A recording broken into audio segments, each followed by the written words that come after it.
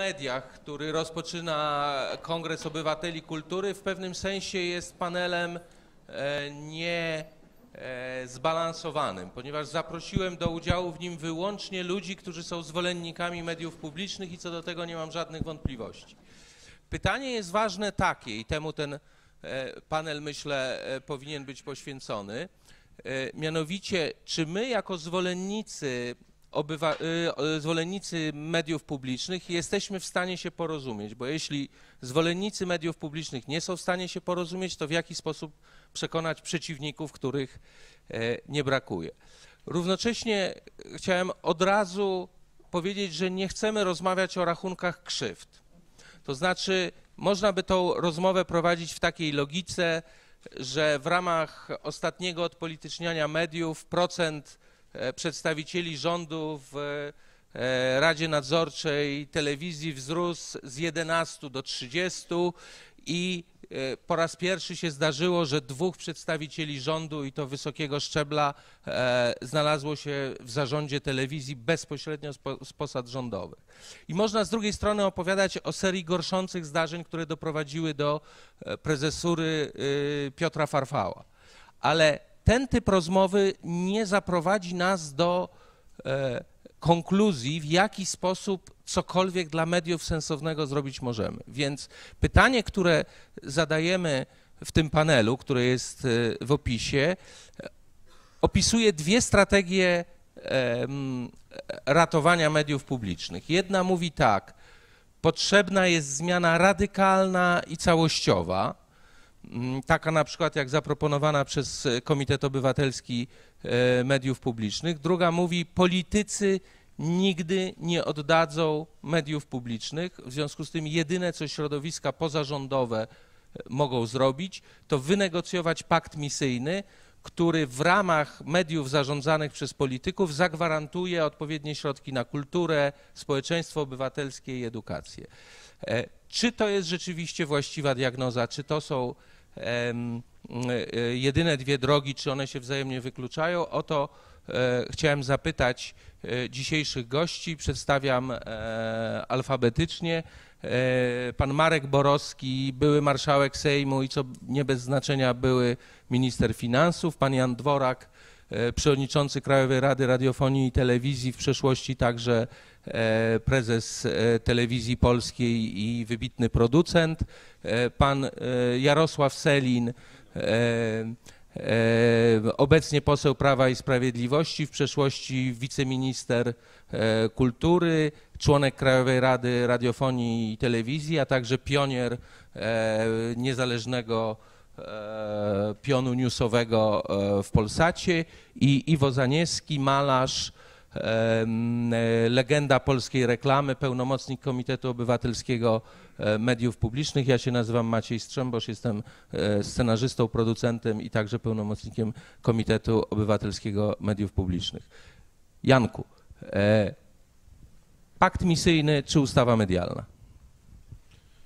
Że trzeba by odszyfrować znaczenia obu tych terminów, co to znaczy pakt misyjny i co to znaczy ustawa medialna, bo najprostszą odpowiedzią jest i jedno, i drugie. Pakt misyjny ja rozumiem jako e, porozumienie e, ludzi, którzy odpowiadają za media. Przede wszystkim obecnie to są politycy, to oni odpowiadają. I e, strony społecznej, jakkolwiek definiowanej. Z tą definicją wcale nie jest tak prosto i nie jest tak łatwo. Więc m- można powiedzieć, że e, pakt misyjny e, jest niezbędny i on mogę, mogę powiedzieć, że jest realizowany w, nawet w tej chwili w sposób e, taki może niepełny, ponieważ obecna ustawa o radiofonii i telewizji mówi o e, porozumieniach programowo-finansowych i one są wdrażane. I to będzie wielka rewolucja już, bo abonament, który do tej pory był dzielony przedmiotowo, czyli po prostu na tych 19 jednostek mediów publicznych, telewizję i, i tych 18 rozgłośni radiowych, e, w tej chwili będzie e, płacony, czy powinien być płacony i w coraz większym stopniu będzie płacony od przyszłego roku na poszczególne zadania misyjne. Tak konstruujemy e, ten sposób dochodzenia do e, bardziej precyzyjnej odpowiedzialności mediów za treści misyjne. Nie będzie już tych worków, że jest e, tak jak powiedziałem, 17 rozgłośni radiowych, duże radio i telewizja i one tam dostają według jakiegoś parametru pieniądze, żeby przeżyły, żeby się rozwijały, na ile to jest możliwe przy obecnej biedzie abonamentowej. Więc Pakt misyjny, bardzo proszę, rozumiem go jako e, pełniejsze jeszcze e, e, praktyczne wcielenie zasady, że płaci się za zadania służby publicznej mediów, nie płaci się za sam fakt ich istnienia i funkcjonowania. No i nowa ustawa medialna. Oczywiście nowa ustawa medialna jest, jest potrzebna. Moje zdanie, towarzyszę mediom elektronicznym dosyć aktywnie już od ponad 20 lat i szczególnie mediom publicznym, które uważam za niezbędny składnik y, życia y, społeczeństwa demokratycznego. Y, uważam, że nie jest dobra droga rewolucyjna. To proponowanie wciąż nowych, rewolucyjnych, innych rozwiązań, żeby odciąć się od złych praktyk, które znamy z przeszłości, jest trochę według mnie wyrazem bezsilności i nieumiejętności, po pierwsze nieumiejętności czerpania być może z doświadczeń takiego pozytywnego przetwarzania tych wielu niezbyt dobrych rzeczywiście doświadczeń z 22 lat istnienia mediów publicznych w Polsce. E, a te doświadczenia można jakoś zdefiniować i można je wykorzystać. I złe doświadczenia, i dobre doświadczenia. Wielkim doświadczeniem dla Krajowej Rady jest na przykład przeprowadzenie konkursu na członków Rady Nadzorczej. Nie będę o tym e, szczegółowo opowiadał w tej chwili, może potem będzie czas na to.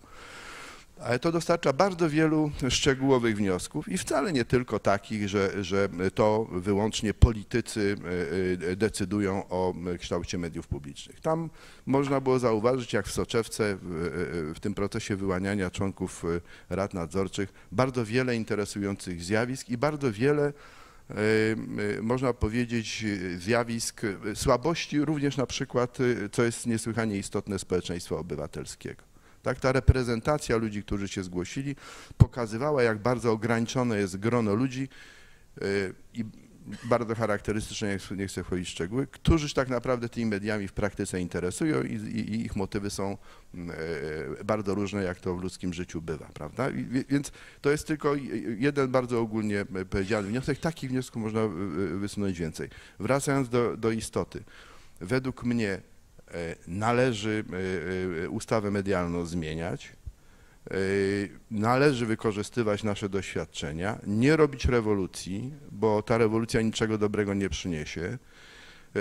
Nie w tym sensie, że nie byłbym za rozwiązaniami radykalnymi, tylko w tym sensie, tak jak powiedziałem, żeby te rozwiązania, przepraszam, te rozwiązania, nawet jeśli są radykalne, żeby były oparte o pewną rzeczywistą analizę rzeczywistości i brały pod uwagę to, na tym skończę w tej chwili, że media publiczne są po prostu takim papierkiem lakmusowym e, jakości naszego życia demokratycznego, życia publicznego. I też e, tak jak chciałoby się odciąć e, media publiczne, i to również w Twoim głosie usłyszałem w tej chwili, od świata polityki, być może widząc tym pewne, pewną cudowną taką receptę, to to nie jest żadna recepta, jak również nie jest y, y, y, jakąkolwiek dobrą odpowiedzią poddawanie się pewien fatalizm, że nic z tym nie można zrobić. Nie. Świat polityki, świat polityki ma i będzie miał zawsze istotny wpływ, bo to jest istotny element naszego życia publicznego. Jeśli zmienimy standardy życia publicznego, jeszcze jeśli one się zmienią, bo nie za wszystko na szczęście odpowiadamy, również łatwiej będzie nam zmieniać media. Więc jestem za zmianami, przemyślanymi, konsekwentnymi, ale realistycznymi. Jarosław Selin. Szanowni Państwo. Raz, raz. Działa, tak? Szanowni Państwo, media publiczne istnieją nie 22 lata, tylko 17 lat i 5 miesięcy dokładnie. Przedtem były media państwowe. E, zmiany ustrojowe nastąpiły 1 stycznia 1994 roku. E, I mamy do czynienia no, z ciągle tymi samymi chorobami. Jeśli chodzi o ich funkcjonowanie, to jest e, choroba upartyjnienia, jeśli chodzi o obsadę władz tych mediów publicznych i choroba komercjalizacji programu, co jest procesem wciąż postępującym, wynikającym e, z tego, że e, jest słabe zasilanie tych mediów publicznych e, ze środków publicznych, a w ostatnich e, latach wręcz coraz bardziej katastrofalne. Do tego, do tego dochodzi trzecia patologia, e, o której wspomniał prowadzący panel, mianowicie no, można podejrzewać pewne urządowienie mediów publicznych e, w postaci tych e, rozstrzygnięć z ostatnich miesięcy. E, Czy pakt misyjny, czy, czy nowa ustawa? E, Ja uważam, że pakt misyjny to tylko w takim rozumieniu, że środowiska, które są wciąż zainteresowane istnieniem mediów publicznych i uważają, że one są ważne i, i mają ważną rolę do odegrania, e, powinny wywierać nacisk na środowisko polityków, żeby, e, żeby mm, e, taki pakt zawierać, żeby takie porozumienia zawierać, ale bez zbytnych złudzeń, że politycy zechcą e, poważnie się pod takim paktem podpisać, bo już widzimy w ostatnich na przykład dwóch latach efekty działań środowisk twórczych, dziennikarskich, które popracowały nad ustawą o mediach publicznych w ramach projektu mm, mm, Komitetu Obywatelskiego Mediów Publicznych. E, I widzimy, że wszystkie środowiska polityczne e, wyraziły zainteresowanie tą ustawą, e, nawet formalnie je poparły, ale tak naprawdę to był tylko taki gest, można powiedzieć, wyborczy. Natomiast, e, żeby realna praca się nad tą ustawą odbywała, to ja tego w parlamencie nie dostrzegam. E, Nowelizacja ustawy, która została przeprowadzona mm, na przełomie lata i jesieni ubiegłego roku, miała być tymczasowa, a tak naprawdę mieliśmy właśnie nad tym projektem środowiskowym popracować i nie pracujemy, więc e, i nie będziemy pracować e, do końca tej kadencji. E, e, Zobaczymy, jak będzie w kadencji, w kadencji następnej. Ja uważam, że zwolenników mediów publicznych e, wśród polskich elit politycznych, ale również e, e, elit na przykład medialnych, dziennikarskich jest więcej niż przeciwników, więc my nie musimy, nie musimy głosu czy, czy czy stanowiska przeciwników mediów publicznych zbyt silnie uwzględniać, ponieważ oni są w mniejszości. Można, je, można, można te środowiska zidentyfikować i, mówmy sobie tutaj prawdę. Jeśli, jeśli chodzi o środowiska polityczne, to, to jeśli są jacyś, jakieś grupy, środowiska e, pr- przeciwne istnieniu mediów publicznych albo, albo przynajmniej e, są zwolennikami ich ograniczenia, ich zasięgu, wpływu, ich mocy, ich potęgi, to, to, to, to raczej można odnajdywać w środowisku Platformy Obywatelskiej, nie wiem jak w PJN-ie, bo nawet wśród e, e, dziennikarzy, czy publicystów, czy właścicieli mediów prywatnych, telewizyjnych i radiowych, takich, są, takich zwolenników zbyt wielu nie ma, dlatego że dla mediów prywatnych, gdyby sprywatyzować media publiczne, jest raczej problem, a nie zysk, prawda? Więc, e, więc tak naprawdę, mm, tak naprawdę nas, zwolenników istnienia, ustrojowego istnienia mediów publicznych jest znacznie więcej, e, jesteśmy potężniejsi, tylko brakuje porozumienia ponadpartyjnego po- porozumienia politycznego i pewnego impulsu reformatorskiego. Taki impuls był w 2005 roku e, na skutek znanych wydarzeń politycznych. Do, jego, e, do realizacji jakiejś, jakiejś reformy wspólnej nie doszło i szczerze mówiąc jestem trochę pesymistą, jeśli chodzi o e, o perspektywę takiego impul, wspólnego impulsu reformatorskiego w najbliższej politycznej przyszłości. Panie Marszałku. Wysoka Izbo. Ja dziękuję za, za zaproszenie. Akurat znajduję się w gronie samych fachowców od tych spraw. Ja jestem, można powiedzieć, amatorem. Ale liczymy, że trochę rozsądku pan wprowadzi. No nie, nas. ale to pan obraża pozostałych. Ale no, Boże. także to bez, bez przesady.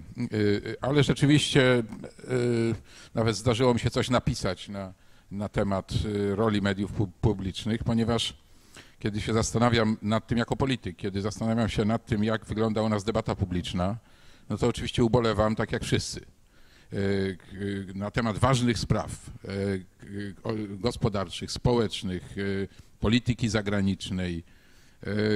Wszystko to jest bardzo miałkie i rzadkie, a te osoby, które dyskutują, mówię tu głównie o telewizji, radio pod tym względem jest lepsze, y, chociaż też, też ma swoje mankamenty, to y, w gruncie rzeczy jest skoncentrowany na jakiejś sensacji, y, na takich pogaduszkach, bołmotach, y, y, kawach czy herbatach i tego typu historiach. Y, W każdym razie nie, nie, nie niesie to żadnej y, treści, która by podnosiła wiedzę, świadomość y, obywateli, ułatwiała im wybór na przykład, y, motywowała do tego, żeby brać udział w demokracji, w wyborach, chodzić na te wybory i tak No i teraz pytanie, dlaczego tak y, się dzieje? E, Otóż mamy do czynienia z pewnym sprzężeniem zwrotnym, tylko e, e, fizycy nazywają to ujemnym sprzężeniem zwrotnym, e, czyli e, coś się stopniowo, że tak powiem, e, kręci, ale w niewłaściwym kierunku. E, Mianowicie e, e, trzymam się telewizji e, pu- publicznej. E, W ogóle tele, telewizja, była tutaj mowa o tym, jest skomercjalizowana. Przy czym jeśli chodzi o media prywatne, to jest ich sprawa, no one muszą się przecież z czegoś utrzymać i y, dotacji nie, nie dostaną, abonamentu też nie, więc wiadomo, że idą w reklamy. Te reklamy wtedy są, jeśli jest odpowiednia oglądalność. Oglądalność jest wtedy, kiedy są takie programy, które taką oglądalność za, zapewniają.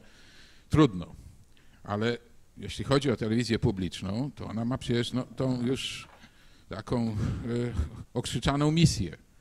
No więc y, jeśli dzisiaj, nie wiem, pan prezes mnie poprawi, jak się mylę, ale zdaje się 85% przychodów telewizji jest z reklam, mówię o telewizji publicznej, prawda?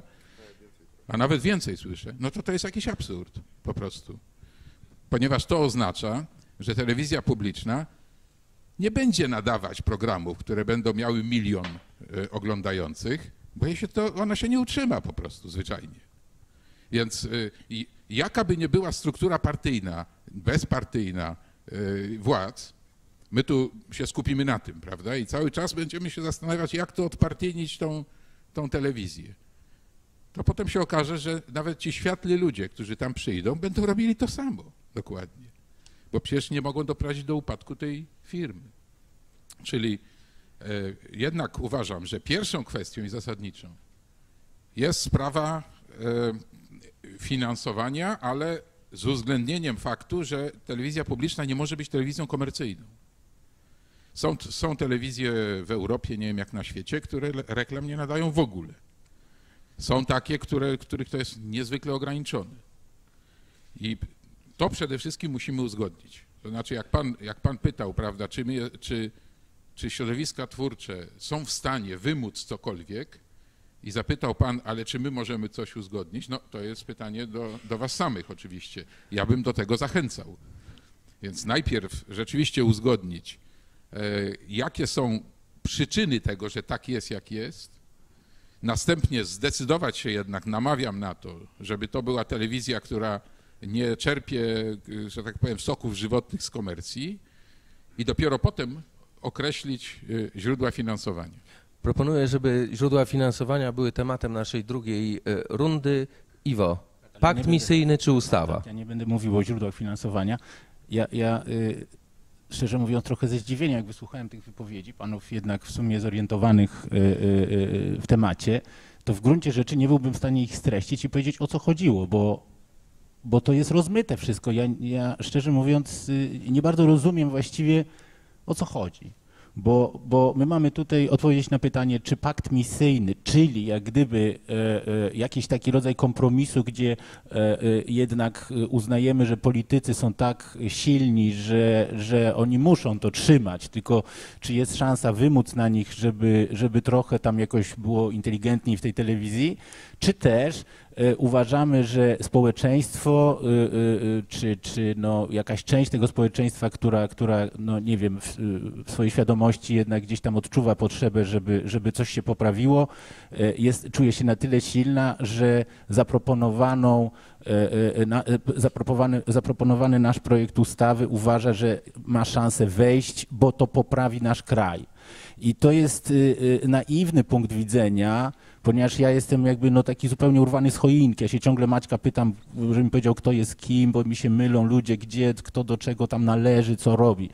I, i wydaje mi się to do pewnego stopnia y, cenne, ponieważ ja właśnie prezentuję taki naiwny y, punkt widzenia człowieka, który, y, który widzi tą sprawę jak gdyby z zewnątrz, nie jest zaangażowany w żadne, w żadne lobby, w żadne środowisko, które coś tego, tylko jak gdyby rozpatruje to z punktu widzenia takiego nawet właśnie trochę dziecinnego. To znaczy, że tak, no jak są politycy y, y, i, i, y, y, to i to jest skonstruowane tak jak teraz, to nie ma najmniejszej szansy, żeby stanowiło to jaką, jakąkolwiek wartość dla naszego kraju. Wręcz przeciwnie, powoli przyczynia się do, takiego, do, takiej, do takiej deprecjacji, do takiego zjechania w dół ogólnego poziomu kultury, informacji itd. itd. Natomiast, żeby coś poprawić, jeśli się człowiek logicznie zastanowi, żadne takie drobne y, y, y, kompromisy, układanki nie, nie, nie, nie spełnią roli swojej. Nic się nie stanie od tego. To tylko i wyłącznie jest możliwe, kiedy skonstruuje się wszystko jeszcze raz na zupełnie, zupełnie innych zasadach. I teraz, jeśli, jeśli em, jak gdyby e, myśmy stworzyli szkic takiego, nazwijmy to szkic, to jest gotowa w zasadzie ustawa, ale nazwijmy go szkic.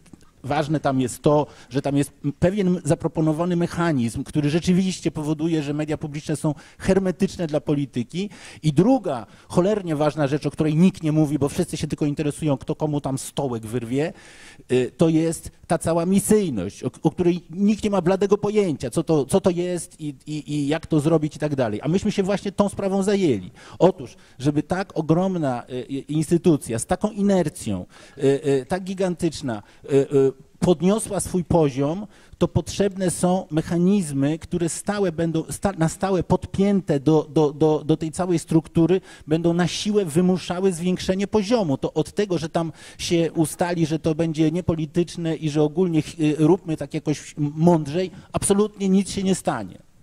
Wiem to dobrze, ponieważ ja działam e, e, na polu, y, że tak powiem, no, no już bardziej kom- komer- komercyjnym się nie da, na polu reklamy. Mam agencję reklamową, która e, e, e, próbuje robić reklamy trochę bardziej kulturalne niż w zasadzie wymagane jest to od nas przez klientów. Żeby to zrobić, nakład pracy i energii jest tak gigantyczny, że ja naprawdę na własnej skórze zdaję sobie sprawę, co trzeba zrobić, żeby kilka programów telewizyjnych, te wszystkie działy różne i tak dalej, żeby całe to, y, ten interes ruszył i zaczął pracować na innej zasadzie. Do tego potrzebny jest Instytut Mediów Publicznych, cała struktura. To wszystko jest proponowane w ustawie. I teraz, jeśli na przykład dziennikarze oglądają to, widzą, co my mówimy. Kiedyś, jak żeśmy to robili, to już było trochę sensacyjne. Wobec tego wszyscy tam trochę, trochę, trochę nas pytali i tak dalej. Po paru dniach to ucichło, ponieważ się stało nudne, nikt nie zorientował się, że, że tak naprawdę dziennikarze mają władzę. Dziennikarze mogą powiedzieć ludziom, czym różni się ta ustawa od jakichś tam różnych innych projektów. Ale właściwie, nie wiem, poza panią Agnieszką Kublik, właściwie nikt tego nie robił. Ja się, tym, ja się potwornie rozczarowałem. Ja nie, ja nie rozumiem, jak to jest. Dziennikarze, którzy rozmawiając z politykami w imieniu narodu, e, z zatroskaniem, z ubolewaniem e, e, pytają ich, dlaczego politycy się tak, a nie inaczej zachowują. Łapią ich na różnych tam drobnych przekrętach, oszustwach i innych rzeczach i tacy są strasznie za tym, żeby, że, tak się wydaje przynajmniej, żeby w Polsce było lepiej. I po prostu właściwie nikt, nie, nie, nie, nikomu się nie chciało opowiedzieć w gazetach, w telewizji i tak dalej, na czym polega ta ustawa. Tylko się takie różne plotkarskie y, pojawiały historie, tam jakieś długie ręce artystów i tak dalej. To, to- to, to jest moje rozczarowanie, bo to, że politycy y, nie chcą czegoś takiego, to jest dla mnie jasne. Ja się wcale nie rozczarowałem, prawda? Bo dlaczego, bo dlaczego oni by mieli to oddać i tak dalej? Ale dlaczego dziennikarze nie uważają, że mając taką możliwość, powinni ludziom powiedzieć, że jest projekt, który naprawdę zmieniłby ten kawałek naszej rzeczywistości. Do tego nie rozumiem. No już. Mo monologi tylko, czy tak można? Coś? Możemy, możemy. Dobrze. Dobrze, więc e, ja rozumiem ten naiwny, to jest, to jest kokieteria oczywiście e, ze strony pana Iwo Zanieckiego, e, rozumiem ten naiwny punkt widzenia i to zdziwienie, ono jest potrzebne, natomiast trzeba sobie zdać sprawę, że e, ten upadek takiego etosu dyskusji, e, e, etosu także nauki, wiedzy i tak dalej w Polsce, on nie, nie objął tylko niektórych warstw. Dziennikarze są częścią tego systemu po prostu. Oni już działają jakby w, innym świecie. Oczywiście są tacy, którzy sta, stale starają się podnieść poziom tej debaty, ale większość jest poddana tym samym regułom. Regułom reklamy i sensacji. I proszę Państwa, no, y, ja rozumiem, że y, nie chodzi o to, że, że y, pan Iwo Zaniewski, który jest rzeczywiście znakomitym autorem, no, specjalistą w tej dziedzinie, że znajdzie sobie miejsce, bo telewizja publiczna bez reklam to przecież nie przeszkodzi. Natomiast no, najpierw sobie na to odpowiedzmy, ja się upieram przy tym. Bo jeżeli, jeżeli nie, jeżeli w dalszym ciągu będziemy uważali, że to jest e, naturalne, normalne i tak dalej, to proszę Państwa, nie bardzo widzę system e, w tym względzie. E, Proszę zwrócić uwagę, że do dyskusji ja akurat no, czasami biorę w nich udział, ale na ogół obserwuję. Dyskusje na, nawet na poważne tematy, które, które mają miejsce w naszej polityce, gospodarce i tak dalej. Kto się pojawia w studio telewizyjnym? Rzadko pojawia się poseł, który ma coś do powiedzenia w tej sprawie, bo się tym zajmuje, bo jest specjalistą. Taki poseł jest szarym posłem, pracuje gdzieś w komisji, nikt go nie zna. Pojawiają się stale celebryci, którzy na każdy temat się wypowiedzą. Oczywiście głównie chodzi o Beaumont, o to, żeby przyłożyć przeciwnikowi i tak dalej. Jest tym zainteresowany producent? Jest, bo reklama przed, reklama po, wiadomo jaki to jest program, on przyciąga ludzi, na pewno się pokłócą, ktoś komuś coś powie i tak dalej. W związku z tym ten jakby to spojrzenie musimy najpierw od- odwrócić e, i żeby, żebyśmy nie mówili na różnych falach. Ja uważam, że projekt, który został opracowany przez środowiska twórcze, to jest projekt dyskusyjny jak każdy. I tam oczywiście można się czepiać, a kto kogo wybiera, jak tam zgłaszają i tak dalej, i tak dalej. To, tam można pewne rzeczy dopracować. Ale uważam, że w świetle tego, co się działo y, z mediami publicznymi do tej pory, do tej pory, to nic gorszego się już stać nie może. Więc, więc te propozycje, które, które tam są, są godne absolutnie poparcia, natomiast trzeba o nich stale przypominać i trzeba szukać, to już przechodzę do pańskiego pytania, jak to z tymi politykami. Oczywiście politycy nie oddadzą tak po prostu, zresztą w ogóle nie mogą oddać, bo wszystko w Polsce dzieje się na podstawie ustaw, prawda? A ustawy uchwala parlament i nikt inny nie, uch, nie uchwali. W związku z tym całkiem polityków się wykluczyć nie da. Natomiast można stopniowo tworzyć jednak pewne lobby, przepraszam za słowo, y, lu, ludzi, którzy porozumiewawszy, porozumiawszy się co do pewnego kształtu mediów publicznych, przynajmniej na pewnym poziomie, zaczną to aktywnie e, wspierać. Moim zdaniem to nie jest wykonalne. Jeśli Nie można. jest No wykonalne. nie, nie jak, jest jeśli- wykonalne taką metodą, że tam się stworzy jakieś Iwo, lobby, Iwo, jak nie jest powoli- wykonalne, to, To nie jest no wykonalne. to dajcie spokój. Dobrze.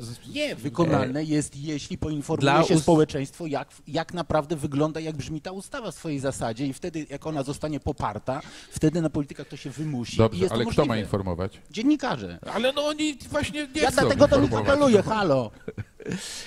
E, Proszę Państwa, e, na Kongresie Kultury, który jest e, takim początkiem, Kongresie Kultury, który odbył się dwa lata temu w Krakowie, który jest początkiem wzmożonej aktywności środowisk twórczych, takiej bardziej starającej się wpływać na kształt państwa. Początkowo rozpoczęło się od konfliktu środowisk twórczych z ekonomistami. A następnie ten, który był na początku bardzo mocno atakowany, czyli y, Jerzy Hausner, wspólnie ze środowiskami twórczymi e, wypracował kształt paktu dla kultury, który mamy nadzieję jutro zostanie podpisany e, z rządem. Czyli sojusz ekonomistów e, z, ze środowiskami kultury przyniósł jakieś dobre skutki. Chcę też przypomnieć to, co cały czas powtarzał profesor Hausner na kongresie, że Agnieszka Odorowicz także jest ekonomistką.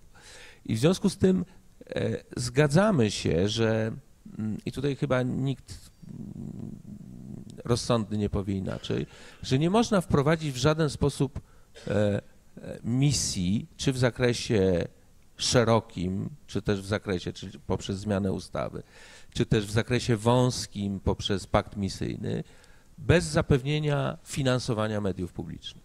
Nie zmieni się kultury korporacyjnej, jeżeli jedyną nagrodą jest oglądalność, e, bo ona przynosi wpływy. I tu mam pytanie do e, e, pana marszałka, jako byłego ministra finansów, w jaki sposób z tym obecnym ministrem finansów i przyszłymi ministrami finansów, pana zdaniem, my mamy rozmawiać, żeby pieniądze wydawane na media publiczne nie wydawały się strażnikowi e, kiesy państwowej pieniędzmi wyrzuconymi z błoto. Bo że one nie są wyrzucane w błoto, to my wiemy, ale jak przekonać ministra finansów, odwołuje się do pańskich doświadczeń. Ja uważam, że sprawa nie jest e, właściwie postawiona, dlatego że rzeczywiście w e, opinii publicznej minister finansów funkcjonuje jako nie tylko strażnik kasy państwowej, ale także szafarz, który te pieniądze tam gdzieś przydziela, prawda? A to tu, a to tam i tak dalej. Otóż możliwości ministra finansów ograniczają się do pewnych kwot, trudno zakreślić ich granice, ale są to w miarę skromne kwoty, które na przykład może rozdzielać w ten sposób, że oto w momencie opracowywania budżetu przychodzi do niego minister pracy e, i mówi, panie ministrze, ja tu mam taki projekt na pomoc socjalną dla wykluczonych e, i to będzie kosztować 50 milionów złotych, no to jest ważny projekt. E, minister finansów mówi, dobra, to ja tam przesunę gdzieś, masz te 50 milionów, no może 100 milionów, prawda? Ale w telewizji publicznej to nie o to chodzi, to nie o takie pieniądze, prawda? Nie, nie o takie pieniądze się modlimy, no. W związku z tym e, tu minister finansów nic nie może. To jest sprawa decyzji politycznej. Znaczy, albo rozumie się ten problem, albo rozumie się, że dzisiaj największym nośnikiem kultury może być, bo nie jest, ale może być e, telewizja, znaczy media publiczne generalnie, me, media publiczne, które docierają wszędzie, docierają do ludzi, którzy nie mają styku z tą kulturą w ogóle, albo prawie. Więc albo się to rozumie, albo się tego nie rozumie. To musi przede wszystkim rozumieć e, czołówka kierownicza tych partii politycznych, które rządzą. To jest klucz. I Czy rozumie? Pytanie do Jarosława i na, nich się, I na nich się trzeba skupić. Oczywiście, że nie rozumie ta czołówka kierownicza partii, które obecnie rządzą, a konkretnie jednej partii. Ale czy opozycyjne też to rozumieją? Czego są dowody? Dlatego, że e, w momencie, kiedy ta ekipa doszła do władzy, to z abonamentu ściągaliśmy prawie 900 milionów złotych, a teraz zeszło do 400 paru. E, czyli o 50% w dół. I to wynika z populizmu, który w tej sprawie uruchomiło kierownictwo tej partii, to znaczy z tego mówienia od najwyższej góry, czyli od premiera i lidera partii rządzącej poczynając, o tym, że abonament to jest jakiś nieuprawniony podatek, jakiś podejrzany podatek, że go albo zlikwidujemy, albo bardzo mocno ograniczymy. E, nie udało im się zlikwidować, to przynajmniej go ograniczyli.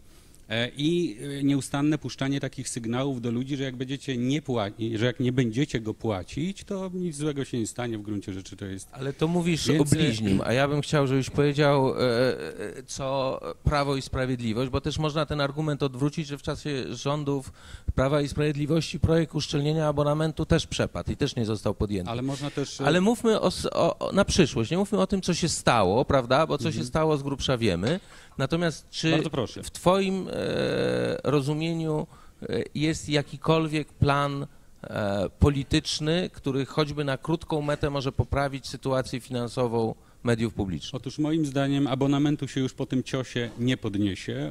Nie, nie, nie widzę takiej metody, jakiegoś instrumentu politycznego czy finansowego, w którym, e, w którym można by było go podnieść, on będzie umierał, abonament będzie po prostu umierał. W związku z tym trzeba myśleć o nowym, e, nowych rozwiązaniach prawnych, które dałyby gwarancję medium publicznym solidnego finansowania publicznego, po to, żeby właśnie tę misję mogły realizować, żeby się nie, komercjali, nie komercjalizowały, żeby być może nawet ograniczały swój, swoją potęgę rywalizacji na rynku komercyjnym.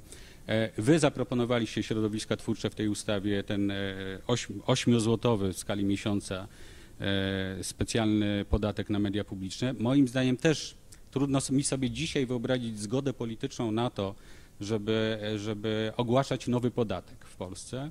Więc szczerze mówiąc, najbardziej mi się z pomysłów, które, które właśnie, najbardziej mi, z pomysłów, które w ostatnich latach się pojawiły, podobał mi się pomysł, pomysł profesora Tadeusza Kowalskiego, bo E, e, polegający na tym, żeby część e, dochodów, które budżet państwa otrzymuje z VAT-u za reklamy radiowe i telewizyjne, szedł na specjalny fundusz, który to fundusz ma finansować media publiczne.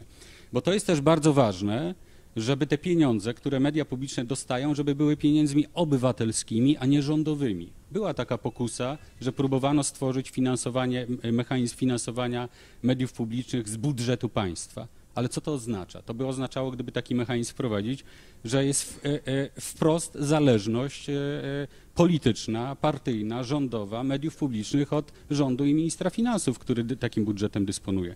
Więc moim zdaniem warto by było wrócić do tego pomysłu takiego bezpiecznego, który uniezależnia finansowanie mediów publicznych od e, władzy politycznej, e, e, czyli pomysłu profesora Tadeusza Kowalskiego o, o VAT-ie, który e, e, kt- w dodatku jest to dochód w, z roku na rok wciąż wzrastający, dałby też możliwość i perspektywę rozwoju mediom publicznym na kolejne lata. Tych pieniędzy byłoby po prostu z roku na rok coraz więcej, a nie mniej. Dzisiaj mamy, nie Tu- wiem czy Państwo wiecie, ale mamy sytuację taką, że TVP1 i TVP2 nie dostają ani złotówki już z abonamentu. One funkcjonują tak samo jak TVN i Polsat.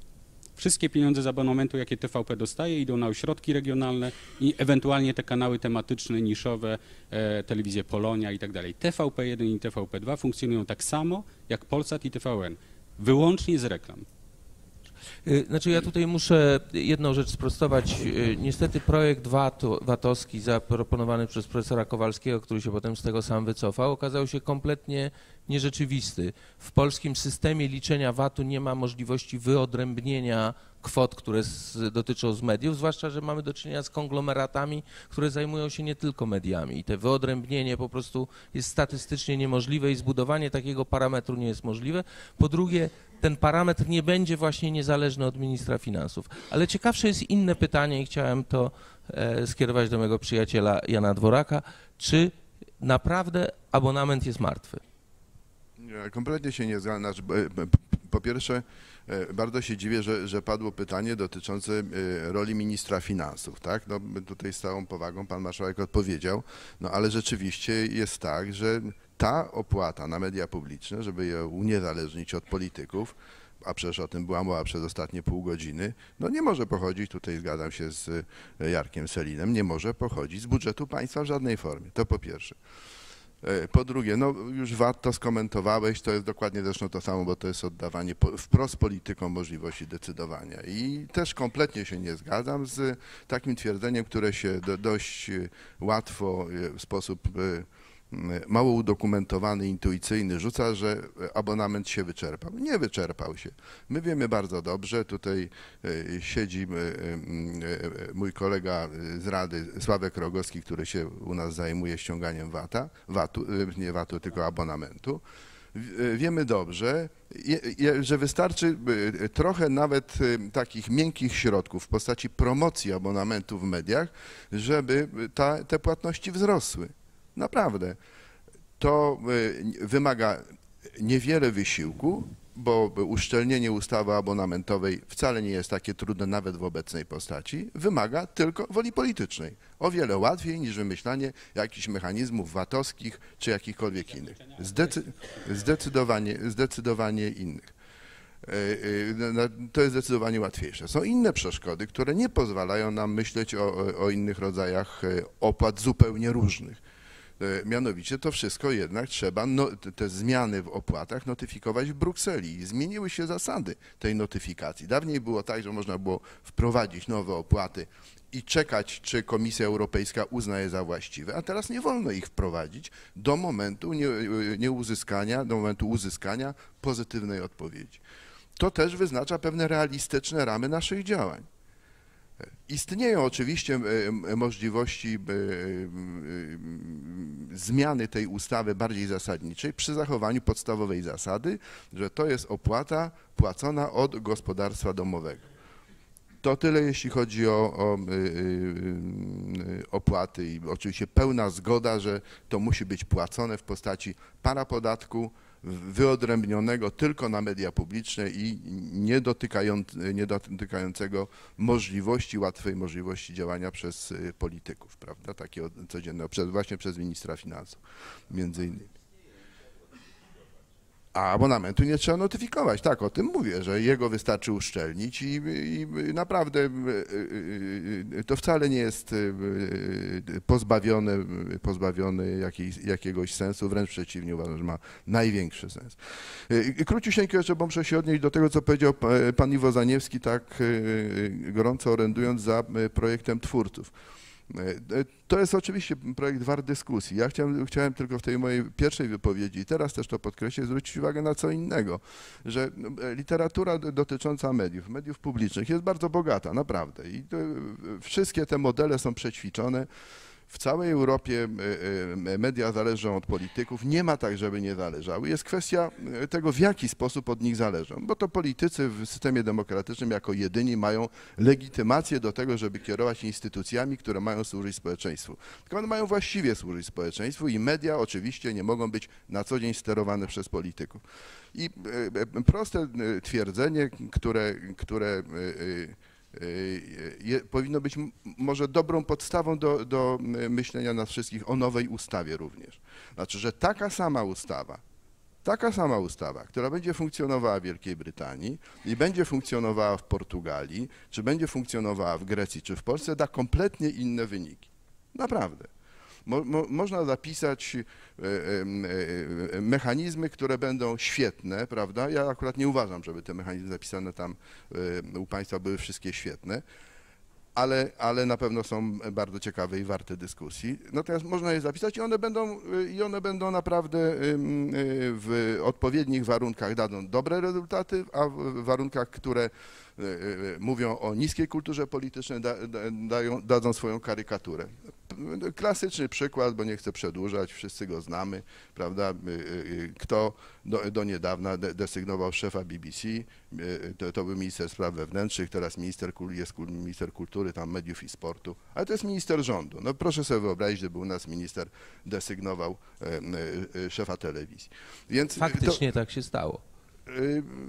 Tak się, tak się może do końca nie stało, ale, ale nawet kto desygnował jeśli... Juliusza Brauna do Rady Nadzorczej, co otworzyło mu drogę do prezesury telewizji? Ale, ale być może... Z całym być, szacunkiem ja, ja... i sympatią dla Julka Brauna. Nie, ale to jest argument, argument obosieczny i być może na taką już bardziej detaliczną dyskusję bo być może należy zrezygnować z pewnego rodzaju fikcji, którą my uprawiamy, prawda, starając się bezsilnie oddalić te media od polityków. Być może trzeba ich wprost obarczyć odpowiedzialnością za jakość ich decyzji dotyczących mediów publicznych. Być może trzeba skończyć z hipokryzją. Wszyscy chcą. Teraz ja też już zacząłem brać udział. Było do mnie ta e, wypowiedź. Proszę, do ciebie, proszę cię. Tak, tak. Pan miał okazję tam wnosić swoje poprawki do tej ustawy. Pan to czytał przecież, my żeśmy się konsultowali. To i pan nie mówi, że tam nie są najlepsze zapisy. To trzeba było je poprawić. A nie, nie, nie, zdecydowanie. Nie, tutaj muszę, to jest zupełnie jednak e, rzecz wymagająca e, no, sprostowania. Nie, nie miałem wpływu na, te, na ten państwa, państwa pomysł. Częściowo Czytałem. miał, częściowo nie, nie, nie, nie, nie, nie, nie, zdecydowanie. Część poprawek przyjęliśmy, część odrzuciliśmy. Nie, zdecydowanie nie należałem do grona osób odpowiadających za tę ustawę. To prawda, bardzo, ale recenzowałeś. Bardzo, bardzo proszę, to zupełnie jednoznacznie. Ale absolutnie, ale absolutnie i trzeba przyznać, przepraszam, muszę oddać państwu, znaczy oddać sprawiedliwość Janowi Dworakowi, że był jedyną osobą, E, która publicznie krytykowała naszą ustawę za odejście od abonamentu. I ja teraz uważam, że on miał rację. I teraz, e, przepraszam Cię Iwo, że, i przepraszam Pana Marszałka i przepraszam e, Cię Jarku, szanowny Panie Pośle, ale chcę powiedzieć taką rzecz. Musimy zacząć nazywać rzeczywistość po imieniu. Dlaczego ja zapytałem o ministra finansów? Ponieważ politycy rządowi bardzo wysokiego szczebla i najwyższego szczebla powtarzają, minister finansów się na to nie zgodzi. To jest jeden powód. Dlaczego oni tak powtarzają? Najprawdopodobniej dlatego, że są niekompetentni e, w sprawach ekonomicznych, a wiedzą, że od budżetu zależy ich przyszłość ekonomiczna, więc się tego ministra finansów boją. I dlatego z ministrem finansów, jako z realną władzą w państwie na temat wszystkich spraw finansowych trzeba rozmawiać. Drugi przykład o realności władzy ministra jest taki, że uszczelnienie abonamentu nie wymaga żadnej zmiany ustawy, tylko jednej interpretacji ministra, który zakazał urzędom skarbowym, powtarzam, zakazał urzędom skarbowym brać pod uwagę informacji Poczty Polskiej o tym, że ktoś ma zarejestrowany odbiornik i nie płaci abonamentu. I chcę powiedzieć jeszcze o jednej rzeczy, bardzo prostą rzecz. Złożyliśmy w Sejmie w trakcie publicznego wysłuchania, mianowicie w jaki sposób zrobić coś, co nie budzi kontrowersji politycznych, bo obciążenie zwykłego człowieka abonamentem, wymuszenia na nim administracyjnie budzi taką e, e, wątpliwość w różnych partiach politycznych, które mówią, ale nie każcie nam przed wyborami obciążać zwykłych ludzi. Natomiast jest sytuacją absolutnie haniebną, że 95% firm w Polsce nie płaci abonamentu. I nie ma żadnego uzasadnienia, dlaczego międzynarodowa sieć hoteli, w której pokój kosztuje co najmniej 460 zł za noc, nie płaci 57 groszy abonamentu dziennie za pokój. E, I żeby to zrobić, y, wystarcza kilka prostych rzeczy, które nie wymagają żadnej zmiany ustawy. Na przykład przekazanie danych, i to mówię o projekcie, który został złożony w Sejmie w formie legislacyjnie poprawnej, przekazanie danych o zakupie samochodów do Krajowej Rady, bo każdy samochód posiada radio w tej chwili.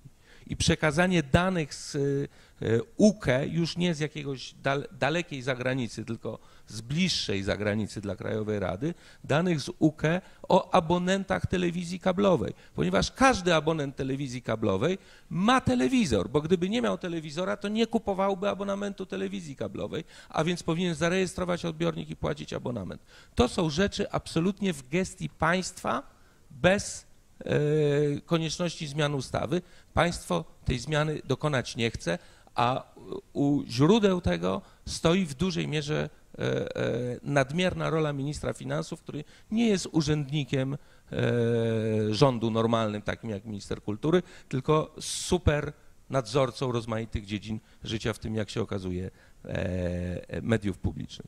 I jeszcze jedna rzecz, o której chciałem powiedzieć w kontekście, już kończę, w kontekście tego, co mówił Iwo Zanieski. No jest karykaturą, jeżeli poważny dziennikarz w poważnym dzienniku, jaki jest polityka, słyszy od Juliusza Brauna, że nasza ustawa proponowała losowanie prezesa i tego nie prostuje.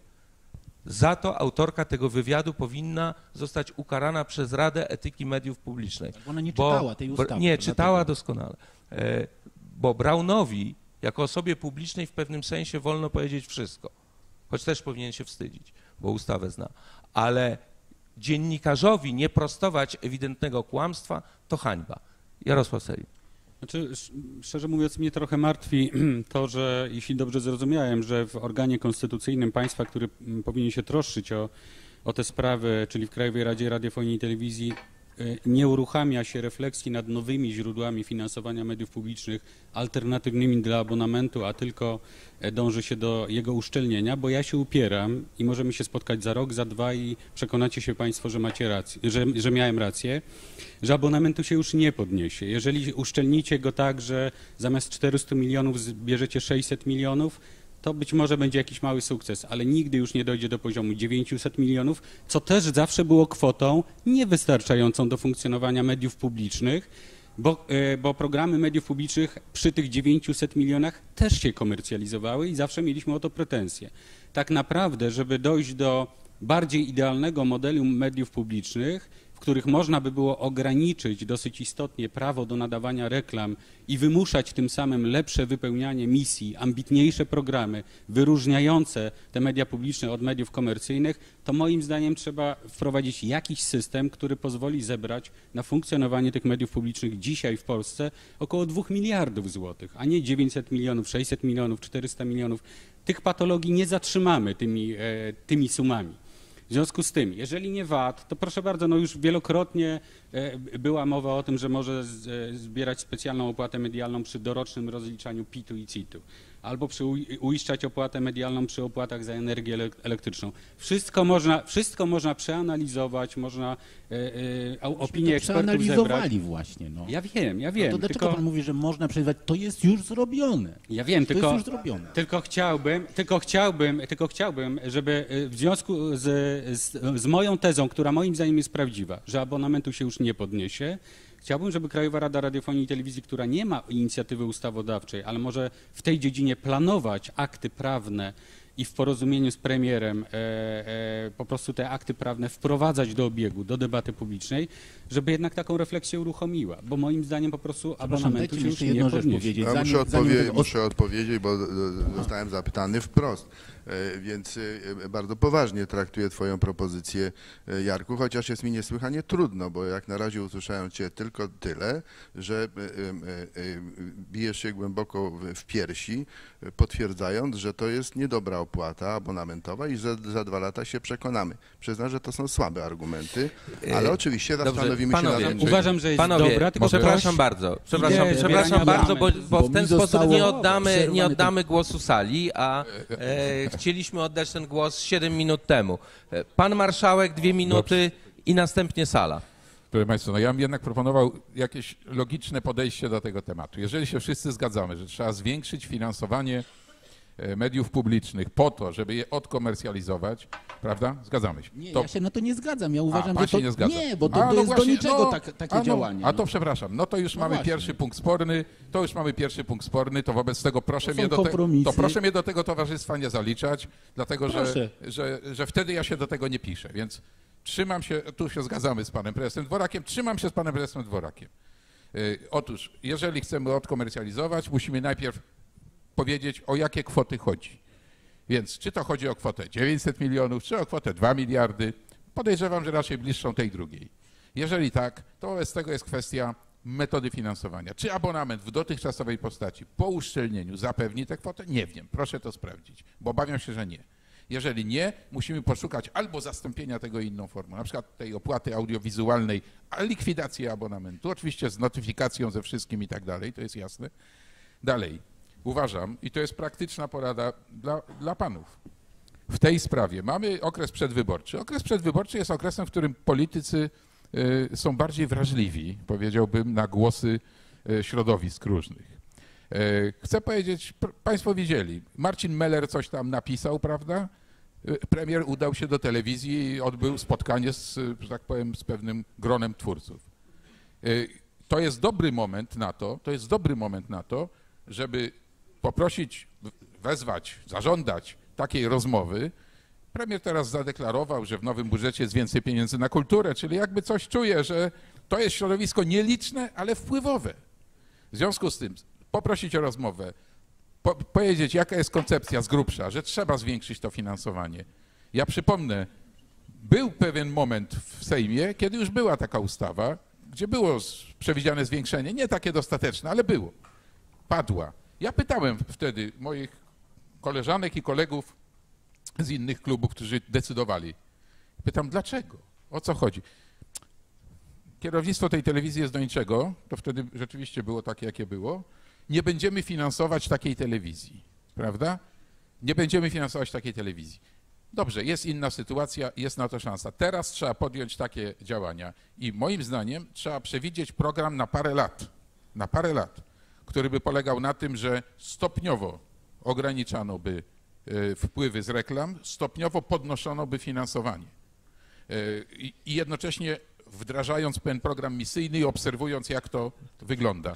Rzeczywiście na żad, żadnych rewolucyjnych zmian się nie zrobi, bo to wymaga na przykład wprowadzenia takiego podatku dodatkowego i tak dalej, i tak dalej, albo dużej kwoty z budżetu, co zawsze jest pro, pro, problemem. Koń, kończąc, wyobrażam to sobie w ten sposób, uważam, że to byłoby realne. Abonament trzeba uszczelnić absolutnie i z, uzyskać z niego większe wpływy i następnie przewidzieć na, nie wiem, 4-5 lat dochodzenie do właściwego poziomu i finansowanie z budżetu. Czy to będzie finansowanie e, z VAT-u, nie z VAT-u, to jest obojętne, to jest zawsze finansowanie z budżetu. Tylko te kwoty byłyby stopniowo rosnące, tak, żeby były do, że tak powiem, przyjęcia przez e, każdy rząd, przez każdego ministra finansów. Proszę Państwa, oddajemy głos z sali. Mamy jeszcze 28 minut, a ostatnie 6 rezerwuję jednak dla panelistów. Proszę w związku z tym nie więcej niż dwie minuty i proszę się przedstawiać. E, nazywam się Adam Fularz, jestem wydawcą czasopisma Ekonomika Kultury. Mamy także teraz nowy tytuł w planach, już jest do znalezienia w sieci, ale jeszcze nieładnie wygląda wydawca mediów. E, no, jestem mikroekonomistą. Co to znaczy? Zajmuję się mechanizmami ekonomicznymi, które rządzą wszystkimi e, branżami gospodarki, nie całą gospodarką, nie tą sferą makro, tylko tą sferą konkretnych branż. Czyli to jest ekonomika przemysłowa mm, i jest coś takiego także jak ekonomika mediów. I jak, dlaczego w Polsce tak jest e, z mediami? Pan tutaj się bardzo mocno emocjonuje terminem, używaniem terminu media publiczne wobec TVP. Pan chyba nie wie, jak wyglądają media publiczne, e, jakie treści zawierają, e, co dostarczają, jakim grupom społecznym, wszystkim. Proszę sobie sprawdzić taki fajny serial brytyjski, Bledki, Skins. O kim on opowiada? O współczesnej młodzieży, która jest, jakby to puszczono w TVP, to nie wiem, nie wiem jaka byłaby Polska, bo przypuszczam, jakaś 30 część- sekund Panu zostało. e, część społeczeństwa by się z tym utożsamiła. No. W Polsce nawet się nie opłaca wydawać czasopism o, o mediach. Polsce się bardzo mało opłaca, proszę Państwa. To dla, dlatego, że mamy chyba piąte według e, Dnia Wolności Podatkowej, jaki ranking, piąte najwyższe podatki na świecie w tych, w tych dużych krajach, bo to się porównuje te duże kraje. E, Co czynią media w Polsce? Jest taki dogmat homo economicus w ekonomii. Należy go zawięzić. Ludzie są racjonalni nie na wszystkich informacjach, ale na tych informacjach, na zbiorze informacji, które do nich docierają. Czyli jeżeli oni mają mało informacji, to nie powinniśmy się dziwić, że na przykład wychodząc tutaj widzimy brudne ulice, chaos taki reklamowy. Szanowny panie, już pan czas to wygląda zupełnie inaczej niż na przykład w Szwa- Szwajcarii, gdzie byłem podczas tego weekendu. Jeżeli, e, jeżeli chcemy to zmienić, to musimy zmienić przede wszystkim sposób, w jaki pracują media. Media w Polsce są zmonopolizowane, mamy jedną koncesję dla telewizji komercyjnej ogólnopolskiej, w Wielkiej Brytanii jest bodajże 120, około ponad 100 e, cyfrowo nadających kanałów ogólnopolskich. Tutaj pan reprezentuje opcję, która jest za monopolem, za Szanowny utrzymaniem panie, tej władzy TV. Szanowny panie, muszę e, pana prosić o dopuszczenie także innych do głosu. Mm. Małgorzata Dobrze. Potocka. Dziękuję. Mikrofon weź. Pierwszy raz usłyszałam bardzo rzeczowe wreszcie wypowiedzi, uszczelnienie y, sytuacji abo- abonamentowej, bo to jest podstawa funkcjonowania tej telewizji. Kiedyś była telewizja tak zwanym oknem na świat i radia, tak, y, oknem na świat. Teraz tym oknem oczywiście nie jest. Dowiedzieliśmy się, że pieniądze jedynki i dwójki są takie jak telewizji komercyjnej i telewizja nie może być y, kobietą lekkich obyczajów, która z jednej strony sprzedaje się, a z drugiej strony próbuje prowadzić misję. Takiej telewizji nie stworzymy w żaden sposób. Musi być wy, wyraźnie prowadzony program, który zawsze myślimy, misja to pewnie coś beznadziejnego, ale misja, kiedyś to była misja na tej zasadzie, że były wartościowe, pogłębione e,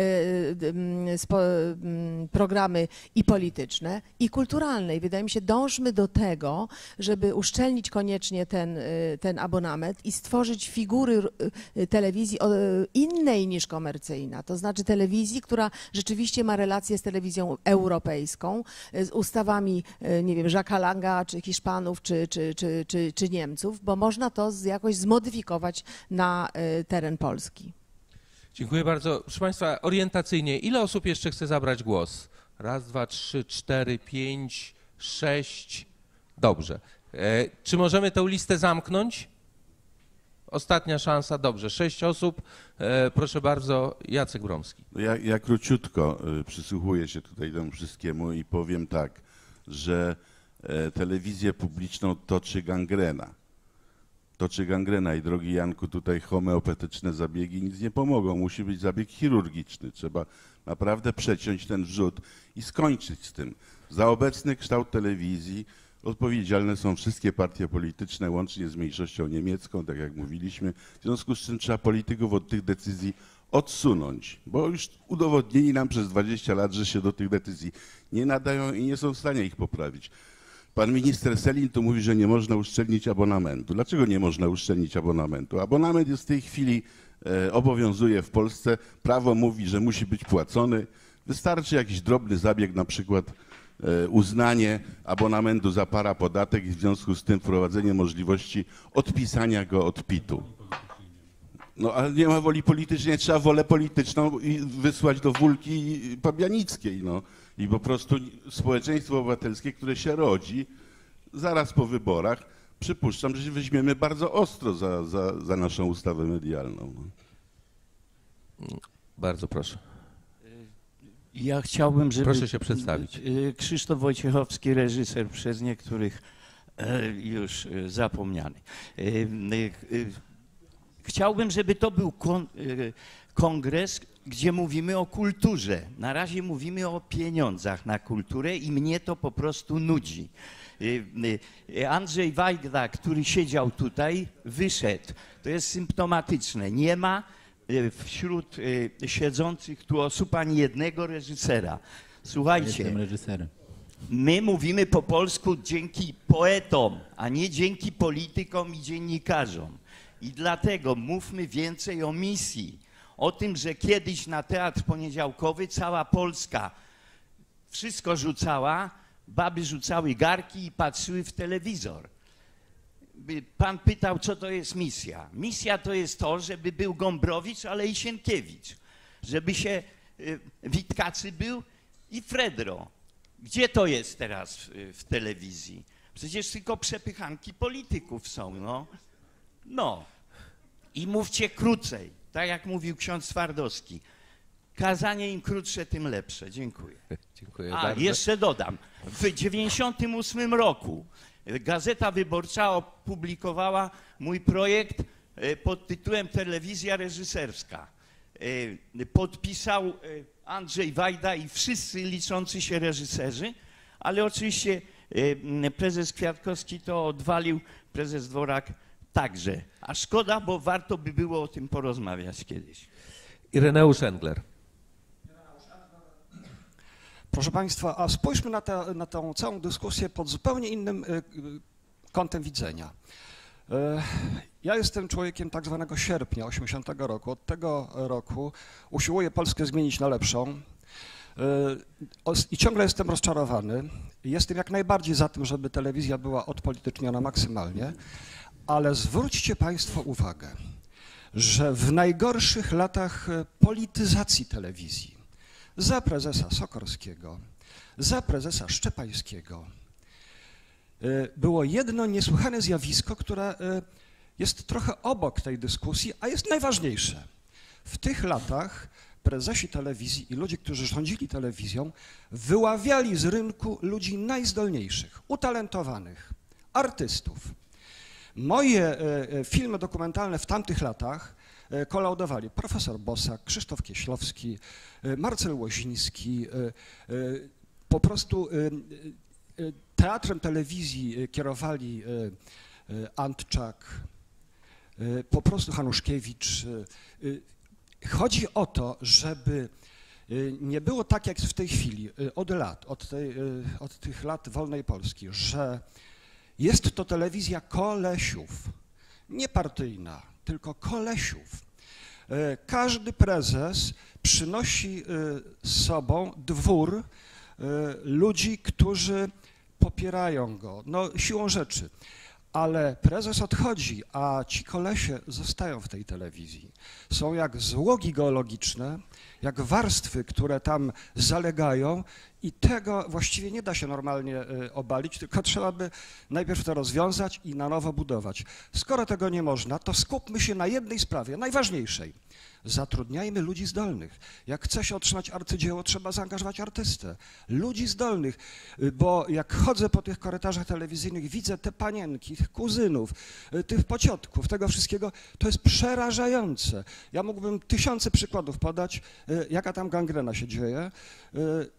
Myślę, że to można e, zatrzymać nawet wbrew e, układom politycznym. Można, tylko trzeba e, zaangażować wreszcie ludzi utalentowanych. Dziękuję.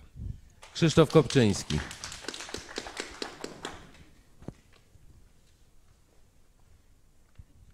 Krzysztof Kopczyński. y, Mówienie, kim jestem, zajęłoby więcej niż dwie minuty, więc nie płacę abonamentu.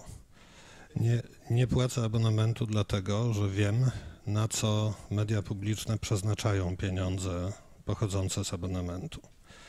Padał tutaj przykład brytyjski. W Wielkiej Brytanii 95% y, osób, które powinny płacić abonament, płaci go. Dlatego, że system ściągania abonamentu jest szczelny, ale również dlatego, że Brytyjczyk, który płaci 11 funtów y, miesięcznie, dostaje w zamian platformę telewizji naziemnej cyfrowej FreeSat, na której ma 110 kanałów telewizyjnych i radiowych. I wbrew pozorom nie jest to wyłącznie oferta misyjna. Jest tam sześć kanałów e, dla dzieci, są cztery kanały poświęcone wyłącznie zakupom, są kanały filmowe, są kanały radiowe i regionalne. Ja mogę w każdej chwili zacząć płacić abonament i jeżeli w Polsce będziemy mieli 95% ściągalności, to dojdziemy właśnie do tej wymienianej tu kwoty 2 miliardów złotych. Tylko chciałbym wiedzieć, co z tymi pieniędzmi się stanie. Dziękuję. Agnieszka Odorowicz. E, Dzień dobry. Ja chciałam tylko powiedzieć, że właśnie dlatego powstał ruch społeczny Obywatele Kultury. E, Ponieważ my chcielibyśmy i tutaj wesprę e, pana Iwo Zanieckiego w, jakby w swoim postrzeganiu świata. E, My byśmy nie chcieli rozmawiać o, kolejny raz zresztą, bo to jest e, 70. debata na temat mediów publicznych i co zrobić z abonamentem i od, tych, od tego czasu jest tylko gorzej. Jest coraz gorzej. My nie mamy kultury politycznej polegającej na tym, żebyśmy mogli dać politykom wpływ na media publiczne, bo w żadnym normalnym kraju by było niemożliwe, żeby wiceminister z rządu, nie rezygnując z posady, wystartował w konkursie do zarządu na wiceprezesa, wygrał ten konkurs. No to um- umówmy sobie, że e, powiedzmy sobie jasno, że, że ta kultura polityczna tutaj nam e, e, nie zadziałała. W związku z tym, e, w związku z tym e, tylko k- kończąc krótko, właśnie dlatego powstał ruch społeczny Obywatele Kultury, bo my byśmy chcieli rozmawiać o sprawach jasno i po imieniu, nie przejmując się jakimś koniecznym do tego cynizmem, pragmatyzmem, że coś jest niemożliwe, że już na wstępie, zanim zaczniemy rozmawiać, porzućmy pewne idee. Właśnie nie, bo to, co jest ważne, nowe i dziwne i dla niektórych być może nie do przyjęcia, z czasem po takich debatach się przyjmuje, a jeśli będziemy się zastanawiać cały czas nad tym samym od 10 lat, to nie ruszymy do przodu. Dziękuję. Proszę Państwa, ponieważ zostało nam 15 minut, to po dwie minuty dla każdego z panelistów, może po prostu geograficznie, tym razem Jarosław Seli. E, Szanowni Państwo, e, no, rozmawiamy w gronie osób, które są za tym, żeby media publiczne instytucjonalnie istniały. Nie, nie wszyscy w takim przekonaniu żyją. żyją. Nie, są ludzie, którzy uważają, że, że ich istnienie nie jest potrzebne. Warto używać tego argumentu, że e, chcemy mieć gwarancję, że w mediach elektronicznych, w radiu, w telewizji zawsze będzie solidna debata publiczna, zawsze będzie edukacja i zawsze będzie wysoka kultura, podkreślam, nie kultura jako całość, tylko wysoka kultura. I to mogą zagwarantować tylko e, media publiczne, jeśli mają dobrze opisane e, swoje zobowiązania programowe, ale jeśli są też dobrze finansowane. I z tym, i z jednym i z drugim mamy w Polsce poważny kłopot. Dlatego tak często, dlatego tak często Proszę rozmawiamy, e, rozmawiamy o pieniądzach, bo to jest jednak podstawa. E, e, Ustrojowo można różne rzeczy wymyślać, jak te media mają wyglądać, ale jeżeli nie ma solidnego finansowania, no to po prostu mamy sytuację taką, jaką mamy, że one się prawie niczym nie różnią od mediów komercyjnych. Ja pana Krzysztofa, jeśli dobrze e, imię zapamiętałem, e, chciałbym prosić o to, żeby rozważył, bo jestem zwolennikiem płacenia abonamentu, tylko uważam, że realistycznie oceniam rzeczywistość, mówiąc, że, że go się już podnieść nie da. Ale jestem jego zwolennikiem płacenia i ja go płacę, żeby rozważył to, że nie płacąc tego abonamentu szkodzi na przykład takim kanałom jak TVP Kultura, TVP Historia, program drugi Polskiego Radia, bo one właśnie tych pieniędzy potrzebują. E, te, tak jak mówiłem, w TVP1 i w TVP2 już żadna złotówka z abonamentu tam nie przychodzi, ale te kanały, które przed chwilą wymieniłem, wciąż istnieją dzięki takim ludziom jak ja, którzy abonament płacą. Więc warto to rozważyć. E, I teraz e, uważam, że też jest bardzo ważne wyszukiwanie w różnych środowiskach politycznych tych ludzi, którzy uważają, że państwo nie powinno się zwalniać z mecenatu państwowego nad kulturą szeroko pojętą, w tym nad, e, z mecenatu nad mediami publicznymi, bo one są nośnikiem tego przekazu kulturowego. Są środowiska i są politycy, którzy uważają, że jest to zawracanie głowy, ale w każdym środowisku politycznym znajdzie się pa, państwo też takich, którzy uważają, że to nie jest zawracanie głowy, że mecenat państwa nad szeroko pojętą kulturą jest po prostu jednym z najważniejszych zobowiązań tej wspólnoty, e, którą, e, którą tworzy właśnie państwo. Dziękuję bardzo. Jan Worak, dwie minuty. E, No ja krótko też e, muszę powiedzieć, że z mm, pewnym, e, na- nawet nie smutkiem, ale z mm, pewnym poczuciem e, no, niewłaściwości odczytałem głos Krzysztofa Kopczyńskiego, który mówi o tym, że nie płaci abonamentu i stawia jakieś warunki. Jarek tutaj już Selin powiedział, w pełni się z nim zgadzam. Abonament rzeczywiście w tej chwili finansuje te media, które sobie na rynku same nie poradzą. Taki jest, e, e, sens tego, co się stało ze zmniejszającym się wpływem abonamentu. On jest kierowany tam, gdzie e, rynek zupełnie nie poradzi. Właśnie dwójka radiowa, w ogóle całe radio, rozgłośnie radiowe, regionalne i te kanały, które, które w telewizji też się nie utrzymają, jak, jak kanał Kultura. Więc nie płać dalej, Krzysiu, tego abonamentu i, i e, e, ba, bardzo pochwalam taką postawę. E, Mówię to oczywiście ironicznie.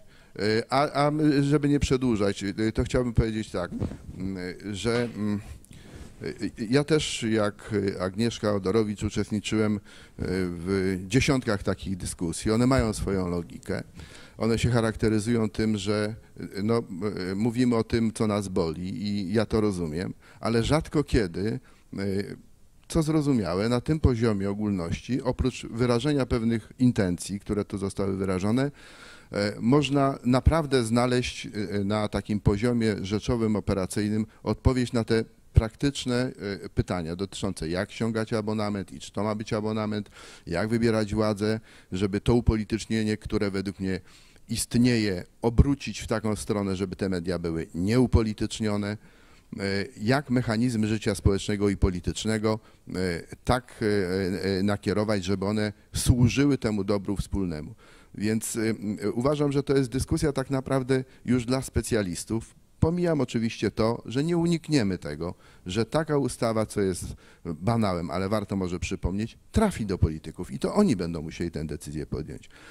Ale na razie w tej wstępnej fazie ja e, e, zapraszam bardzo do Krajowej Rady i e, robię to zupełnie oficjalnie. E, Wszystkie zainteresowane środowiska i osoby, to oczywiście wszystkie się nie zmieszczą, no, ale będzie trzeba dokonać jakiejś sensownej selekcji, e, do e, dyskusji nad naprawdę rozwiązaniami, które mają sens i mają szansę. Dziękuję. Dziękuję. Panie Marszałku. Ja, proszę Państwa, już dostatecznie dużo powiedziałem, żeby, żebyście Państwo zauważyli, że ja marzę o mądrych mediach publicznych i e, jestem gotów się zaangażować w różne akcje z tym związane. E, Przez dłuższy czas u nas panował lament na ten temat i słuszne wskazywanie wszystkich mankamentów. Potem jednak e, nastąpiło trochę coś więcej niż tylko lament. No, powstała organizacja, środowiska twórcze zaczęły działać w tym zakresie. Co ja mogę w tej chwili zrobić? Ja nie jestem specjalistą od misji w tym sensie, że ja nie, ja nie, ja nie określę, co to ma być przedmiotem tej misji dokładnie. E, Mogę tylko powiedzieć, że zawsze mam w pamięci e, i co starsi tutaj to, to na pewno to pamiętają, pro, program Sonda na przykład. E, I to jest dla mnie taki wyznacznik, powiedzmy sobie, tego, jak można, jak można robić mądrą, mą- mądrą te, telewizję, w tym wypadku akurat telewizję. Otóż, jak powiedziałem, jestem gotów się zaangażować. Wasze środowisko musi wszelako y, dojść do porozumienia w pewnych kwestiach, albo przynajmniej wariantowo pewne rzeczy przedstawić, bo niekoniecznie musi być wszystko do końca. Szukać tych sojuszników, nie ma rady. Wydaje mi się, że klimat jest dzisiaj mimo wszystko lepszy niż był, jeśli chodzi o kulturę w ogóle i można spróbować zaatakować również temat y, telewizyjny. I mogę tylko powiedzieć, ja jestem mały człowiek, no, ja y, nie rządzę i wiele nie mogę, y, ale czasem mogę gdzieś otworzyć usta i macie we mnie sojusznika. Dziękujemy. Dziękujemy bardzo. Iwo Zaniewski. E, Jak widać tutaj podczas tej rozmowy, e, e, e, widać wyraźnie powód, dlaczego nasza ustawa medialna w ogóle musiała powstać i dlaczego, jak panowie ją nazywają, ona ma charakter taki rewolucyjny. No właśnie dlatego, że panowie politycy, jak zaczynają o tym e, mówić, wdają się e, e, w niuanse, tłumacząc nam i sobie nawzajem, że lepiej jest, kiedy telewizja jest samofinansowalna, bo wtedy jest mniej komercyjnie i tak dalej. To są jakieś oczywistości, które są jasne dla wszystkich. My w naszej ustawie medialnej napisaliśmy to wszystko. To wszystko jest porozwiązywane. Można się w szczegółach dłubać w tym i zastanawiać, czy nie byłoby coś lepiej i tak dalej z ekspertami i tak dalej. Natomiast cały schemat zbudowany jest. I po prostu rozważanie na ten temat, czy t- tego pokazuje, dlaczego musiała powstać ta ustawa. Bo po prostu nie ma innej formy komunikacji wewnątrzspołecznej, żeby poprawić y, telewizję, która gdzieś tam jest jednak we władaniu polityków. Nie ma takich, że tak powiem, zwykłych narzędzi mechanicznych. Znaczy ktoś ma wyjść na ulicę i powiedzieć, słuchajcie, politycy, ja lepsza, lepiej, żeby była. Nie ma takich mechanizmów. W Sejmie ktoś powie coś, od tego się nic nie zmieni. Musi powstać jakiś taki ruch, y, krok posunięcie. I to posunięcie to jest ta ustawa. I ona dlatego jest radykalna i jakaś taka totalnie odrzucająca tego, bo się nie daje tego mechanicznie zrobić inaczej. No nie da się wpłynąć na polityków. Nie da się wpłynąć. Można by wpłynąć na polityków za pomocą uświadomienia społeczeństwa, ale nie ma mediów, które mogłyby je uświadomić, to społeczeństwo. Wobec tego nie ma ruchu żadnego. No. My to musimy zrobić. No. My to musimy zrobić i jednym takim aktem, prawda, który zawiera wszystkie te rozwiązania, które rzeczywiście zmieniłyby coś w tej sytuacji, e, e, żeby to przeskoczyło, inaczej nie ma szans. Nie da się nic powoli popoprawiać. Przecież dobrze sobie zdajecie z tego sprawę, no musicie głosić taką opcję tego, no bo tam jednak jesteście z tej drugiej strony, no. I to, I to dlatego jeszcze raz, ja już kończę, apeluję do dziennikarzy. Ja mam prośbę, żeby zajrzeli na e, stronę Fundacji Batorego, gdzie jest ta ustawa. Nie trzeba jej wcale całej czytać. To jest dość duży zbiór kartek. Można przeczytać podstawowe y, rzeczy, które mówią o tym, na czym oparte są mechanizmy, które odróżnią y, takie media od mediów, których, które mamy w tej chwili. I we własnym sumieniu zastanowić się, czy jest to dyletanckie, czy to jest y, nie dość sprytne i tak dalej. A może to jest słuszne, a może to jest rzeczywiście jedyne, najlepsze, co w tej chwili mamy do dyspozycji. Jeśli tak, to na miłość boską opowiedzieć o tym ludziom. No. Bo tak po prostu nikt nie zmusi polityków, my tutaj gadając i prosząc panów, nie, nie, nie, mamy takiej siły. Politycy e, robią wszystko, co chce naród, ponieważ oni są wybierani przez naród. Dzięki. E, dwie krótkie sprawy, ale wydaje mi się, że wymagające powiedzenia. Pierwsza taka, że gdyby 95% osób i podmiotów płaciłoby abona, płaciło abonament, to wpływy z abonamentu przekraczałyby znacznie 3 miliardy złotych. I nie ma takiej, moim zdaniem, możliwości, żeby w budżecie e, e, zagwarantować, bo ustawa budżetowa, proszę pamiętać, że w Polsce nie ma wieloletnich e, ustaw budżetowych. Ustawa budżetowa jest uchwalana za każdym razem i znajdy, zawsze znajdą się e, pilniejsze rzeczy, więc e, być może trzeba myśleć o docelowym na, za parę lat, tak jak sugeruje pan marszałek, rozwiązaniu, ale w tej chwili jedyną realną drogą jest uszczelnianie abonamentu i z całą pewnością w tym kierunku e, e, przynajmniej ja będę starał się lobbować. Druga sprawa, Krzysztofie Drogi. Uważam że za rzecz absolutnie niemoralną, jeżeli z dumą producent korzystający z pieniędzy publicznych mówi o tym, że nie płaci abonamentu. To jest niestety postawa, która nas kompromituje w oczach polityków. Jeżeli my korzystając z pieniędzy publicznych sami się do tego kociołka nie dokładamy, to jest to po prostu kompromitujące. E, e, ostatnia e, rzecz, e, o, o, ostatnia rzecz e, dosyć ważna jest następująca. W całej historii 17-letniej, jak tutaj wyliczył Jarosław Selin, mediów publicznych, był tylko jeden uczciwy konkurs na prezesa telewizji. Jeden. Co to znaczy uczciwy konkurs? Taki, w którym na początku nie było wiadomo, kto zostanie prezesem.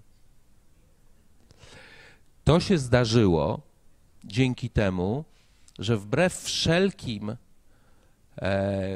prawdopodobieństwom członek Komitet, y, y, Krajowej Rady Radiofonii i Telewizji reprezentujący prawicę namówił przewodniczącą Krajowej Rady Radiofonii i Telewizji e, pochodzącej z lewicy do powołania Rady Nadzorczej bez żadnego konkursu, przypominam, która nie będzie przewidywalna w ten sposób, że ktoś ma zdecydowaną przewagę.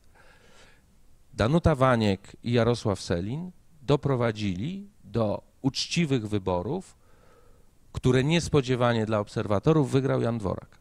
To jest jedyny przykład uczciwego konkursu w historii telewizji. Moje pytanie, które jest pytaniem tak naprawdę kluczowym, czy Jan Dworak i Jarosław Selin, którzy wtedy byli w innych miejscach, ale byli gotowi współdziałać i współdziałali w kierunku zmiany mediów publicznych, teraz znajdując się w innych miejscach, jeden w parlamencie, drugi w Krajowej Radzie, są nadal gotowi ze sobą współpracować. E, Ja bardzo dziękuję. Jestem gotów oczywiście współpracować ze wszystkimi. Z, z Jarkiem nie mam żadnych problemów, znamy się długo i wiemy o sobie e, e, sporo. E, Natomiast muszę zaprotestować jednak e, Maćku, bo m, powiedziałeś, że to był jedyny konkurs, o którym e, z góry nie było wiadomo, kto go wygra. E, No taki był, taki był efekt, ale chciałbym, chciałbym Ci powiedzieć, że E, Tak, jest element polityczny w obecnie przeprowadzanych e, konkursach. To jest prawda, on istnieje. Ale to też nie jest tak, że z góry było wiadomo, kto go wygra. Naprawdę, to jest krzywdzące i Po tutaj publicznie kopert muszę było wiadomo. Po, po otwarciu Po kopert, otwarciu kopert nie wiem. zgłoszonych było wiadomo. Różnica Nie, między nie. tym konkursem a poprzednim było, że po otwarciu tamtych kopert nie było wiadomo. Maćku, e, zakładałem To się... jest moja opinia i ja ją podzielam. Zakładałem się z Jackiem Bromskim, który powiedział dokładnie to samo, jak ten konkurs się miał rozpoczynać, jeszcze po, po, przed rozpoczęciem. I, no i Jacek przegrał ten konkurs, więc naprawdę, no nie wracajmy do tego. No. No ale no nie było, no, no, no Boże drogi, no, no nie było. No. Ale wskazał innego ważnego Nie, nie, ale ja- urzędnika ja, Ministerstwa Ja bym bardzo Kultury. proponował, wszyscy widzimy trudności, Dobrze, wszyscy jasne. widzimy kłopoty, ale jakby nie, nie dotykajmy się, bo, bo to nie jest konieczne, naprawdę. I nie, nie krytykujmy się personalnie. Ale ja nie krytykuję personalnie, ja tylko mówię o pewnej opinii. Rozumiem, że z twojej strony jest deklaracja, że gotów jesteś do współpracy także z posłami Prawa i Sprawiedliwości. E, Jarku, czy posłowie Prawa i Sprawiedliwości są gotowi do współpracy z przewodniczącym Krajowej Rady? Nie no, żyjmy w prawdzie. No, e, dzisiaj mamy koalicję medialną Platforma Obywatelska, SLD, PSL i to jest ta koalicja, która rozdaje, e, że tak powiem, wpływy dzisiaj w mediach publicznych. I to jest kontynuacja złych praktyk, które były przez te 17 lat bez wyjątku. Natomiast muszę też przyznać, że w Wbrew opiniom, które zdarzają się w moim środowisku politycznym, ja uważam, że w historii telewizji, na przykład telewizji publicznej, były trzy prezesury, w których o coś chodziło. Tak? Można się czepiać różnych szczegółów, ale o coś chodziło w sensie misyjnym. To była prezesura Wiesława Walędziaka, to była prezesura Jana Dworaka i to była prezesura Bronisława Wil- Wilcztajna. Możemy się o, o, o szczegóły pokłócić, ale tak, tak to oceniam i to niestety było zaledwie 5 lat z 17. E, Więc ja oczywiście e, cenię bardzo też Jana Dworaka i uważam, że e, na przykład to, że, że zupełnie szczerze i otwarcie przyznał po, po rozstrzygnięciach konkursowych do rad nadzorczych, że nie udało się odpolitycznić mediów publicznych, to, to we mnie wzbudza sz- szacunek, bo to jest po prostu to jest po prostu szczera wypowiedź mówiąca o prawdzie. E, Natomiast e, uważam, że, że trzeba współpracować. No, wszyscy zwolennicy istnienia mediów publicznych i, i ich uzdrawiania, szukania nowych mechanizmów, a, a, a pojawiają się takie w głowach, nie tylko ustawa twórców, ale też są nowe pomysły, o których nie zdążyliśmy tutaj e, pomówić, którzy chcą po prostu uzdrowienia tej sytuacji i, e, i w sensie e, lepszego wykonywania misji publicznej i w sensie odpartyjnienia. Ja zawsze używam pojęcia odpartyjnienie, nie odpolitycznienie, bo bo e, jestem w sporze z tymi, którzy uważają, że polityki w mediach publicznych powinno być mało. Powinno być dużo, bo to jest sens istnienia debaty publicznej i demokracji. E, ale odpartyjnienie jest chorobą. E, e, więc z takimi ludźmi zawsze chcę współpracować i Jan Dworak oczywiście do takich osób należy. Gdyby Dziękuję. jeszcze, gdyby jeszcze panie, panie Maczku, gdyby jeszcze pan, pan Krzysztof zadeklarował, że będzie płacił abonament, to, to wyszlibyśmy stąd naprawdę z przekonaniem, że coś się udało załatwić. Proszę Państwa, przekroczyliśmy już o 2 minuty 30 sekund, Krzysztof. Ale ja... Czy to działa? Działa. Bo y, chciałem powiedzieć, że y, po pierwsze to ja oczywiście po tych głosach zacznę natychmiast płacić abonament. I, I w dodatku jeszcze zapłacę go wstecz i kwit odpowiedni umieszczę na mojej stronie internetowej, żeby Państwo mogli to zobaczyć. Ale tu niestety nie chodzi o moją osobę, ponieważ jeżeli zrobilibyśmy sondaż wśród tu obecnych, kto płaci i kto nie płaci, to by się okazało, że ja niepłacący należę do absolutnej większości. Tylko chodzi o to, że po to, żeby abonament móc ściągać, to przede wszystkim trzeba ludziom powiedzieć, co dostaną w zamian, prawda? Na czym będzie polegała ta misja, którą abonament będzie finansował. I to w moim odczuciu się nie dzieje. Dyskutuje się o rozwiązaniach y, formalnych, natomiast nie mówi się o tym, co dostanie obywatel za to, że zacznie płacić abonament. I to jest bardzo poważna sprawa. Dziękuję. Dziękuję bardzo, dziękuję panelistom, że zechcieli, Państwu, że zechcieli przybyć, Państwu, że zechcieli wysłuchać bądź zabrać głos. Zapraszam na dalsze spotkania e, Kongresu Obywateli Kultury, a jutro do Muzeum Narodowego o 12 podpisanie Paktu dla Kultury, tylko proszę przyjść wcześniej, bo e, e, nie, o 12 w, o 12 w południe, w samo południe. Oczekujemy rozmaitych kontroli bezpieczeństwa, więc proszę przybyć wcześniej. Dziękuję bardzo.